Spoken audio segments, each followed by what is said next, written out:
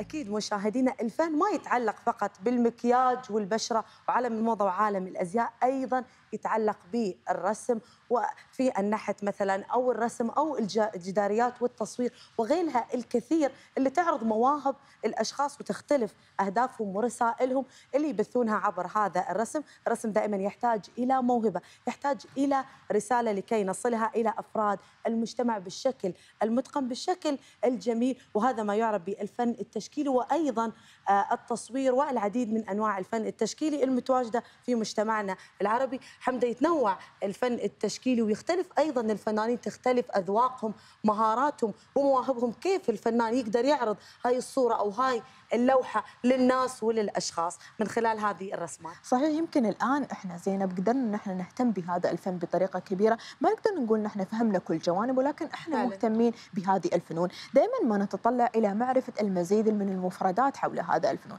لذلك زينب وأيضا مشاهدينا اليوم بنتعرف معكم على فن النحت الجداري أو الموزاييك أو حتى الفسيفساء مع الفنانة التشكيلية إسراء شوشان، صباح الخير إسراء. صباح النور. أهلا وسهلا. صباح النور. أهلا بك زين. في البداية أستاذة عارفين إحنا دائما ما نحب إن إحنا نتعرف على الكثير من الفنون التشكيلية. حثينا عن فن الموزاييك أو فن الفسيفساء. الفسيفساء فن عريق يعني فن ancient قديم جدا. هو ابتدى زمان خالص يعني في العصر البيزنطي لما ابتدت نعمل الكنايس. ابتدى بالكنايس الأشكال والزخارف اللي إحنا متعودين دايما نشوفها في الأماكن القديمة. بعد كده انتقل بعد كده للعصر الإسلامي. بس في العصر الإسلامي اخذوه كأشكال هندسية إسلامية تجريدية من غير رسومات وكده. وبعد كده ابتدى تنوع أشكاله من الإزاز الخزف السيراميك ودي كانت الخامات اللي وقتها كانت دايما مستخدمة. لحد عصرنا هذا تحسيه أكتر ان ايطالي بقى تحسيه مركزه أكتر ان ايطالي في إيطاليا.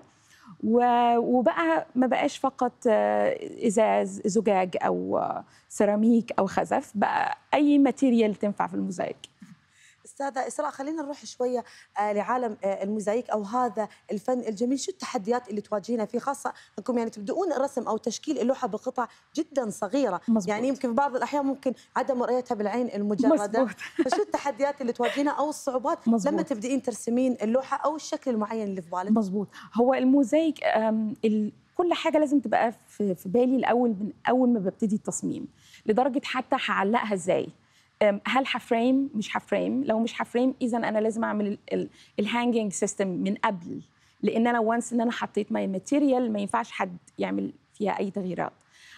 من الأول بعمل حسابي. إذا كان القطع بتبقى هتبقى random هتبقى مرتبة بمعجنها في الآخر بال grout to make it flat or I will not make it flat كل حاجة من الأول لازم بتبقى مخططه في بالي من الأول. ساعات كتير قوي بحب أمشي with the flow يعني عشوائي آه بس still في قيود ان ان limit يعني قيود بشكل معين أو بشكل طبعا محدد. آه لأن تحسي إن هو الموضوع داخل فيه علم كمان داخل فيه science يعني مثلا لو هستخدم ال glue المعين اللزق اللزق المعين ما ينفعش أستخدم ال backing ده. ده مثلا ده ضد المية ده هيأثر عليه المية. ده هيبقى outside piece ده هيبقى indoors جوه البيت. وين تكون معروضة طبعا ده علم حقيقي لأن لأن لو ما اتعملش صح it will fall apart بيقع يعني صح. مع الوقت بيبوظ. فلازم حتى دراسة وقراية ممكن يبدو ممكن لبعض الناس سهل okay just put بعض الأجزاء together بس لا. يكون بشكل متقن جدا. طبعا طبعا صحيح. أكيد. أستاذة إسراء ذكرتي في البداية أن بداية هذا الفن كان متواجد في المساجد والكنائس. خبرينا بس شو هي أفضل أو اللي هي خلينا نشوف الأشكال اللي تؤسس هذا الفن. يعني مثلا إحنا قادرين نحن نشوف في المساجد بعض الخطوط العربية أو بعض الأشكال اللي هي نفس المعين أو. حتى المربعات. هل هذه مثل ما نقول الاشكال الهندسيه والخطوط العربية تعتبر شكلا أو جزءا لا يتجزأ من هذا الفن؟ طبعا لأن الديزاين الفسيفساء أو الموزايك ممكن تعملي بيه أي حاجة. عايزة تعملي بورتريه لإنسان للحيوان. عايزة تعملي أشكال هندسية زي المساجد مثلا. ال هو هو معاكي زي ما انت عايزة. طبعا ساعتها على حسب ال design بتختاري ال material. بتاعتك. آه، زي ما قلنا في العصر الإسلامي لما اخذوا الموز- الموزايك ابتدى يتعمل في المساجد اتعملت بشكل هندسي أكتر أشكال زخرفية إسلامية ما فيهاش رسومات وحاجات كده لأن عندنا في الإسلام آه، ما بنعمل رسومات. فهو فلكسبل معاكي زي ما انت عايزة بتشكليه زي ما انت يعني مثل ما انت تحبين أو شو الأشياء اللي تخطر في بالك أو هدفك أو رسالتك. المعينه. أستاذة إسراء اللوحة الموجودة معانا اللي هي لوحة النمر. شو هي الأسس لاختيار الألوان؟ انت ما رسمتي يعني نمر بالشكل المتعارف عليه أو بالألوان اللي نعرفها. شو سبب اختيار هاي الألوان؟ وكلمينا شوي عن اللوحة. هو أنا عموما بحب الألوان. مظبوط أنا عموما بحب الألوان. يعني أي حاجة في حياتي لازم يكون فيها colors أنا عارفة إن أنا لابسة black بس هتلاقي مثلا ال sneakers لونه pink أنا بك... كل حاجة في حياتي لازم فيها لون. فدي كانت صورة نمر. أنا قعدت ألونها digitally بالكمبيوتر لحد ما حسيت إن هي هذه الألوان بتحكيني بت... بتناسبني. آه، دي كانت ال piece دي صعبة بالذات لإن كمية الألوان كتير. أنا حتى. ما عدتش كمية ال shades أو الدرجات اللي أنا استخدمتها. صحيح. ال material crystal glass دي very challenging أنا بقطع my material manually باليد. كانت challenging لأن هي مش سهلة قطع صغيرة قوي. آه، كمان ممكن مع كمية الألوان دي ممكن تطلع في الآخر mess يعني عارفة ما بتعرفي الملامح فين مثلا. صحيح. ده كان my ده كان my concern أول ما ابتديت إن لازم الملامح تبقى باينة العيون تبقى باينة ال features بتاعت الحيوان تبقى. كاملة. فعلا بصرف النظر عن كمية الألوان اللي أنا بستخدمها. صحيح. فدي كانت أكتر حاجة آه، متعبة في في ال design ده. أستاذ إسراء شدتني كلمة وأنت تحكي عن اللوحة إن هذه الألوان اللي أنت اخترتيها في اللوحة قد تكون جزءا من شخصية إسراء، كيف. من الممكن إحنا كجمهور لهذا الفن نحس إن هذه اللوحة تحكي آه، الفنان أو صفات أو شخصية الفنان؟ مظبوط. الأول أنا بعمل يعني مثلا الفنان لما باجي بفكر أعمل ال design لازم أكون حباه. ما بقدر إن أنا أعمل حاجة just for someone آه، هو حاببها فقط.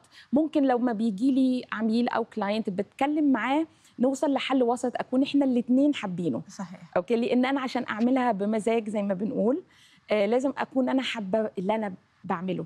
فطبعا أنا بحاول أحط لازم تكون شخصيتي موجودة فيه والمتلقي كمان أو ال viewer لما بيتفرج على العمل ممكن باحساسه هو هي ممكن يشوف something else وده دي كمان حاجة أنا بحبها إن هو inspire imagination زي ما بيقولوا إن هو تطلق خيالك خياله. لما تتفرجي عليه. أستاذة إسراء بما ان ذكرتي المتلقي أو شو الرسالة اللي ممكن يفهمها هذا المتلقي أو المشاهد للوحة إذا تم عدم فهم الرسالة؟ أو مثلا حسيتي إن فهموها بالشكل المغاير هالشيء يأثر آه، عليك ولا ممكن تتماشين مع هذا الموضوع وتحسين فعلا إن اللوحة لها أكثر من جانب وأكثر من هدف؟ مظبوط أنا دايما فعلا دي حاجة بالعكس أنا بحبها. يعني أنا كان في لوحة مثلا إمبارح إحنا لسه مخلصين World Art دبي كان event بقى له حوالي أربع أيام. كان في لوحة أنا شايفاها volcano. أنا شايفاها آه، بركان. بركان. وكان في ناس بيجي يقولوا لي ده dragon ده تنين. أقول إيه لو أنت شايفها dragon دي حاجة برضه تسعدني exactly. دي حاجة تسعدني أنا دي حاجة ما تضايقنيش اطلاقا. بالعكس لما كل ما تخلي الإنسان يطلق زي ما يقولوا يطلق العنان لخياله دي حاجة تسعد تسعدني أكتر. صحيح. أستاذة إسراء خلينا نتكلم عن الخلفيات المستخدمة في هذا الفن. علما بأن آه، مثل ما نقول الأشياء المستخدمة في نوعا ما ثقيلة ما تقدرين تستخدميها في الكانفاس ال- المكان العادي اللي إحنا مظبوط. نرسم فيه. كلمينا عن الخلفيات المستخدمة في كلا اللوحتين اللي موجودين عندنا. مظبوط بتختلف على حسب زي ما قلنا في الأول على حسب المكان اللي أنا هحط فيه. يعني say لو حاجة outdoors بره لازم تكون حاجة waterproof ما تتأثرش بالمية. المي. فعادة بستخدم ال foam board آه، نوع معين بيكون dense أو آه، كثيف enough أنا بعمل له coating الأول أنا بحضر ال backer الأول. فببتدي مثلا يوم أو يومين قبل ما أنا أبتدي actually الشغل عليه. آه، بحضره الأول foam board بعمله coating ب fiberglass وأسمنت. بعد كده وقت ما بينشف بقدر أبتدي الشغل عليه. ده بيبقى waterproof تماما ما بيتأثر بشيء وممكن يتحط outdoors لو indoors ممكن آه، ببقى flexible أكتر. يعني ما فيش مية ما فيش عوامل. جو ممكن أعمل على خشب أو ممكن أعمل على زجاج على زجاج. أي شيء ممكن ينفع. آه، أستاذة اسراء إسراء ليومنا هذا ودخولك هذا العالم وعالم فن التشكيل وأيضا عالم الرسم هل تشوفي إن أنت حققتي أو أنجزتي بعض الأشياء؟ الحقيقة أنا أنا ما بقاليش كتير بس آه، بقالي حوالي سنتين فقط وأنا بس أنا سعيدة جدا بال بالجيرني أو بالرحلة كلها بالابس بالداونز يعني بالحاجات بالإحباطات بالحاجات الكويسة. كانت سلبية أو إيجابية. جدا أنا مبسوطة بيها جدا الحمد لله. بحس إن أنا أكتر آه، لقيت نفسي أو this is ده اللي أنا حابة أعمله. صحيح. ما شاء الله يعني الله. فوجئنا انه هو شغل آه، سنتين فقط. علما بأن آه. إحنا عارفين إن الموضوع يتكرس ليس في السنين بس في الموهبة. لكن في بعض الأحيان في ناس تحب إنها تتجه إلى الجوانب الأكاديمية مثلا. لو كنا حابين ندخل هذا المجال شو هي من المعلومات أو من آه، الورش المقامة اللي من الممكن أن تدعم الجانب الأكاديمي من هذا الموضوع؟ الحقيقة كان ممكن أقول لك قبل مثلا في الإمارات مثلا من كام سنة فاتوا ما كانش فيه حاجات كتير متواجدة. يعني أنا أول ما ابتديت ابتديت fashion illustration رسم رسم الازياء لأن أنا حب بحب التصميم آه، قبل أي شيء. أي أي design حلو ده بالنسبة لي يسعدني يعني. آه، فما كانش فيه وقتها فعلا variety كتير بس دلوقتي في كتير. حتى الفنانين نفسهم ال freelancers اللي زينا هم بيدوا كورسات بيدوا تعليمات. في في الجامعات كتير قوي في ال Knowledge Village في دبي أو في أبو ظبي أو في باقي الإمارات. آه، في نفسهم برضو بقت الجامعات نفسها بتتجه أكتر وبتهتم أكتر بالفن. يعني إحنا دلوقتي مثلا في الإمارات في ال art season تحسي بتلاقي art everywhere في السيركال في World Art دبي في Art دبي آه، في اهتمام عالي قوي في variety أكتر. واللي عايز يتعلم لا بيلاقي عن قبل كده بكتير.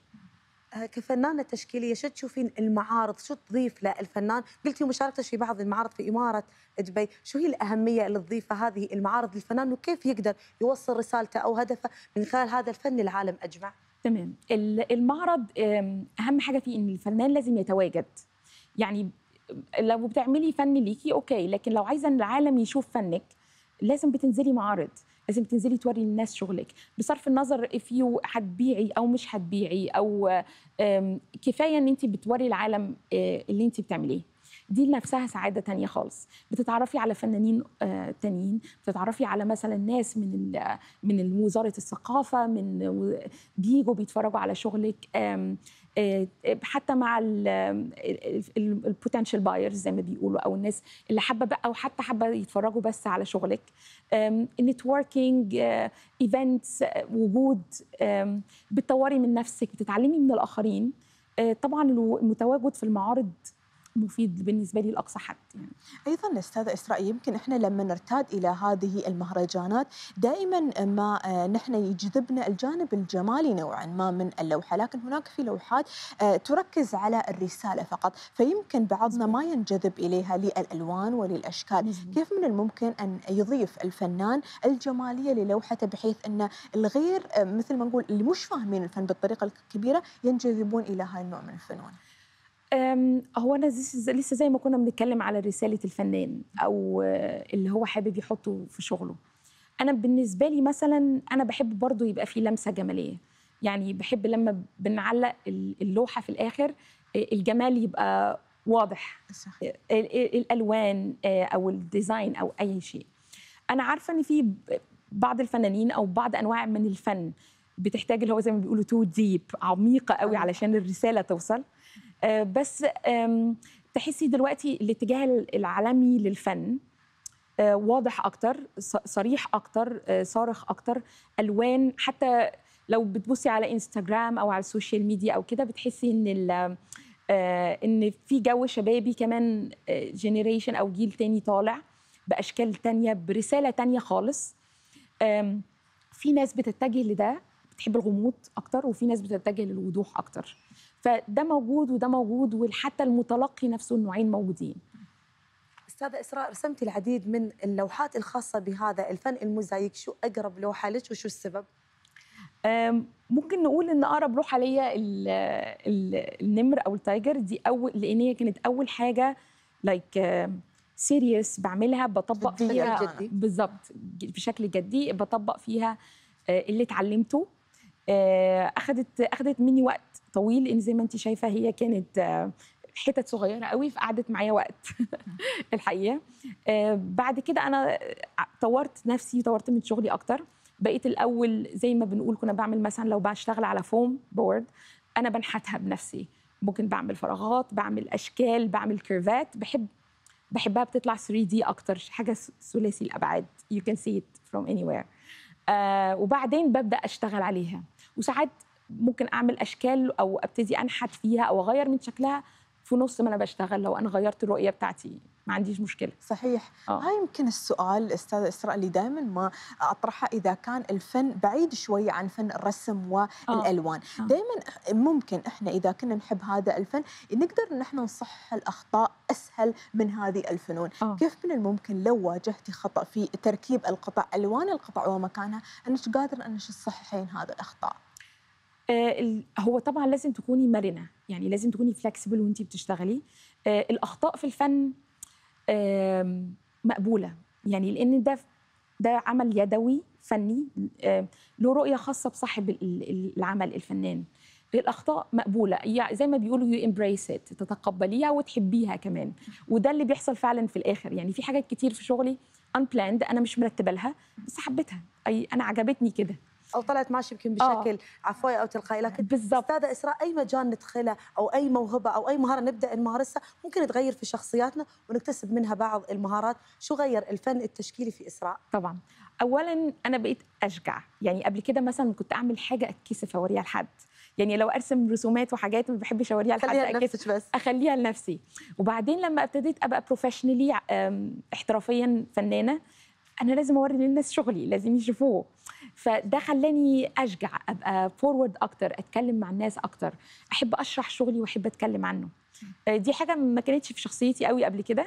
بس أنا دلوقتي دي حاجة غيرت فيا جدا. صحيح الفن حقيقة اللي موجود عندنا الآن في الاستديو جدا جميل وقلت لك من قبل أنه هو صدمنا أنه هو شغل سنتين. إحنا نتمنى لك التوفيق حقيقة. الله يخليك. إس- إسراء شوشان وشكرا أنا اسعد معنا. أنا أسعد الله. يخليك. شكرا. تسلم. شكرا.